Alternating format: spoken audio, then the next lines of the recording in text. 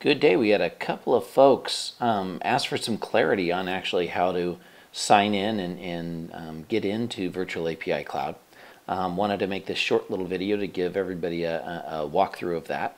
We utilize GitHub authentication. So if you're not familiar with GitHub, um, there's about 13 million plus repositories there and about 7 million active developer users there. And it's the largest social coding um, uh, site on the internet. So it, it powers many, many, many things. If you look at um, large companies um, and small companies and startups, and that's you know where they're doing their code and, and where folks are, are uh, writing their code and storing their code, public and private.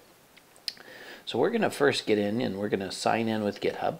We can do that either up here on the right hand side or we can do that with this one big green button. I'm going to press the big green button and it brings us over to GitHub. If I already had credentials with GitHub, I could simply enter those here. But in this demonstration, we're going to sign up to GitHub. The first thing I'm going to do is give myself a username. VAPI Demo User 1.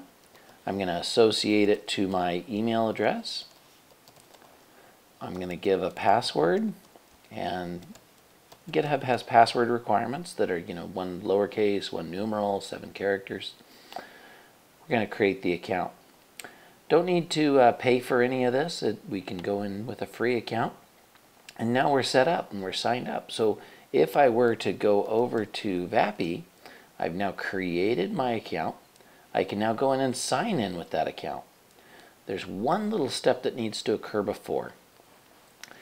By associating this account with your virtual API cloud login, we require a few permissions. The three permissions that we require is read-only access to your email address. So what you just saw as ian.kelly at ca.com. Also to the organization and team information, and also read-only access to your notifications. You also notice in the right-hand side there's a, some contractual agreement here. By signing in, you accept the privacy and terms of use policy located here. You can also go and see those here, and you can review those but you need to make sure that you've reviewed those prior to signing in or pressing this authorized application. I've already done that, so we'll just continue on. I'm now into Virtual API Cloud. You'll notice two things have happened. It's already grabbed the VAPI demo user information and the avatar. So I have that somewhat personalized within this space. We're going to log out of Virtual API Cloud and I'm going to go over and remove the permissions that VAPI had previously. I'm going to go in applications here and revoke these permissions. So I've now made it to where my Vap, uh, VAPI demo user does not have access to Virtual API Cloud. I can do that from, from GitHub. So if I had a pre-existing GitHub account, I could come and I could sign in here and it would just ask me for the screen again authorize the application, and off, off I'm running. So if you're already a user with GitHub, it's very simple, very quick, very easy. If you have to create a new user on GitHub, you can also see that that's just a few fields and you can get through it in 30, 40 seconds.